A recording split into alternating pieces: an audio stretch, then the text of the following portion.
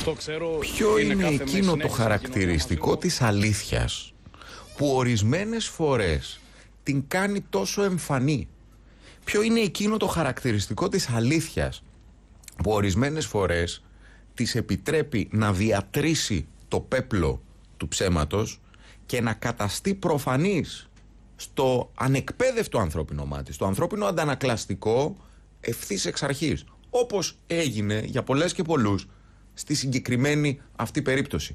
Και έχει σημασία αυτή η ερώτηση σε μια εποχή που μαζί με το σωστό και το λάθος, αφού έχει καταργήσει και τον Θεό πολύ νωρίτερα, καταργεί την αλήθεια και το ψέμα και όλες εκείνες τις σταθερές πάνω στις οποίες καλούνται να πατήσουν για να λειτουργήσουν οι ανθρώπινες σχέσεις σε προσωπικό και κοινωνικό επίπεδο. Ο κύριος Δημήτρης Σούρας είναι ένας άνθρωπος... Καλημέρα. Καλημέρα. Αχ, δεν σας ακούω. Ένα, δύο. Ένα, δύο. Ένα, δύο. Ένα. Κύριε Σουρά. Ε, ναι, μ' ακούτε. Μήπως μπορώ να σας πάρω από ένα κανονικό τηλέφωνο Ναι, γιατί- ναι, βεβαίως, βεβαίως, βεβαίως. Το κανονίζει ευθύς Παίρνω- αμέσως η την Μαρία. άκουσα εγώ την ερώτηση. Ωραία. Αυτό το τηλέφωνο. Ωραία, ωραία. Πάρτε τώρα κατευθείαν για να έχουμε και εμείς την απάντηση. Χίλια ευχαριστώ. Και ναι, κυρίες και κύριοι, loud and clear. Δημήτρη Σούρα στην τηλεφωνική μας Εδώ είμαι, γραμμή. εδώ είμαι, εδώ είμαι. Καλημέρα και πάλι. Καλημέρα και πάλι χαίρομαι πάρα πολύ που σας ακούω. Και εγώ, και εγώ, και εγώ πάρα πολύ. Την Μία- άκουσα την ερώτηση. Ναι. Η αλήθεια είναι πάντα τριών ειδών. Η προσωπική, η αντικειμενική και η αλήθεια των άλλων. Όταν η, αντι- η αλήθεια υποκειμενική ταυτίζεται με την αντικειμενική, τότε είναι η κανονική αλήθεια. Στη συγκεκριμένη όμως περίπτωση, για να μην μπερδέψουμε τον κοσμο η αλήθεια ήταν μια αλήθεια πάρα πολύ επιφανειακή. Δηλαδή, στην πραγματικότητα ισοδυναμούσε με ένα φοβερό ψέμα. Και πώς το καταλάβαμε αυτό το ψέμα; Το καταλάβαμε οι περισσότεροι, για να μην πω όλοι, πρώτο και κύριο από τον τρόπο της ομιλίας του θήτη. Δολοφόνο, κανονικό δηλαδή, για να μην κρυβόμαστε πίσω από τις λέξεις. Δεύτερον, από τη στάση του σώματος. Τρίτον, από τη δοτικότητα στις κάμερες και στους δημοσιογράφους.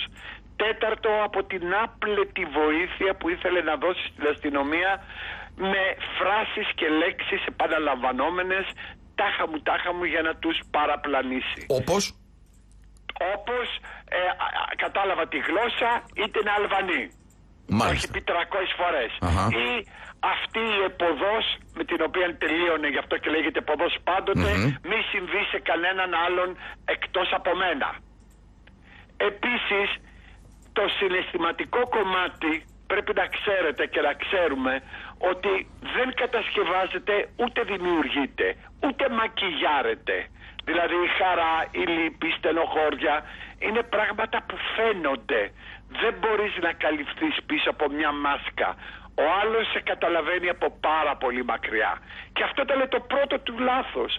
Πίστευε ότι μακιγιάροντας τα συναισθήματα θα μπορέσει να μας περάσει κάτι το τελείως διαφορετικό. Και επισ- επίσης το Θεαθήνε, το show off. Μια το σκυλάκι φωτογραφίες, μια το παιδάκι των μηνών σε κηδεία, δεν το έχουμε ξαναδεί ποτέ. Οι εναγκαλισμοί τη στιγμή που ήξερε, όλα αυτά ήταν εναντίον του. Υπάρχει μια Αλλά ο σκηνή που Βίσμηρος δεν το αγκαλιάζει τη καταλάβαινε. μαμά της Καρολάιν και μετά τη μαμά σηκώνει της το Καρολάιν. κεφάλι και με την άκρη του ματιού καταλαβαίνει πως τον πιάνει η κάμερα και αγκαλιάζει με μεγαλύτερη... Με μεγαλύτερη. Α, Και ε, ε, ε, ε, θέλω να στηριχτώ πολύ στη δοτικότητα που είχε και τον θεατρινισμό προς τις κάμερες και στους δημοσιογράφους. Όλα. Αυτό λοιπόν όλο, αντί να δείξει έναν άνθρωπο ο οποίος ήταν ας το πούμε θλιμμένος με το δικό του τρόπο, έδειχνε έναν πραγματικό ψεύτη, έναν αναλυθή. Τι βοήθησε άλλο, δεν, θα- δεν το έχω πει ποτέ, το λέω πρώτη φορά. Ο εκπαιδευτής του, ο οποίος γύρισε και είπε ότι εμείς εκπαιδευόμαστε να είμαστε δυνατοί στο θάνατο.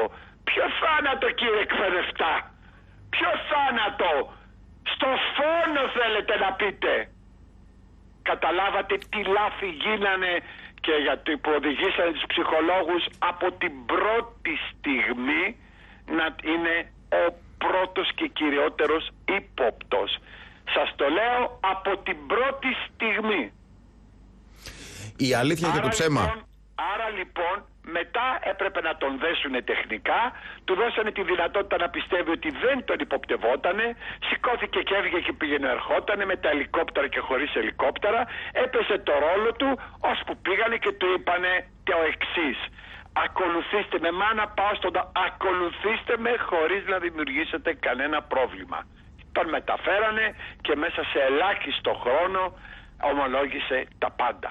Δεν έχει ξαναγίνει αυτό στην Ελλάδα ποτέ για τον απλούστατο λόγο ότι δεν είναι ο φόνος. Κάποιος είπε ότι τέτοιοι φόνοι γίνονται πολύ δολοφονίες. Ναι, δεν είναι αυτό. Είναι η σκηνοθεσία, η μετά. Είναι η προσπάθεια να μεταπίσει όλο. Είχε πιστέψει μέσα στο φτωχό του τελικά μυαλό, γιατί δεν είναι έξυπνος αλλά πονηρός, ότι μπορούσε να ξεγελάσει την αστυνομία, την κοινή γνώμη, τον κόσμο, την Ελλάδα με άλλα λόγια, το κράτος. Φανταστείτε πόσο φτώχεια μυαλού ήταν τελικά. Η αλήθεια και το ψέμα έχουν τα χαρακτηριστικά τους.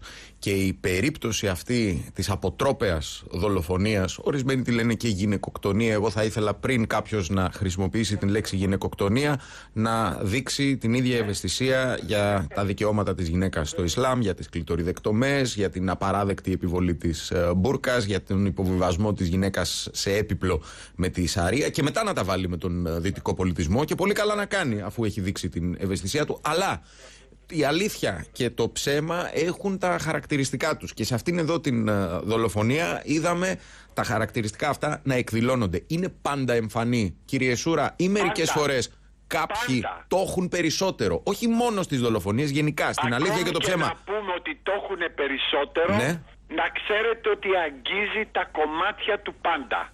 Συνεπώς, αν έχουμε το νου μας, μπορούμε να καταλάβουμε πότε κάποιος λέει αλήθεια ή ψέματα. Εννοείται αν έχουμε το νου μας μπορούμε να καταλάβουμε πραγματικά τι, τι γίνεται.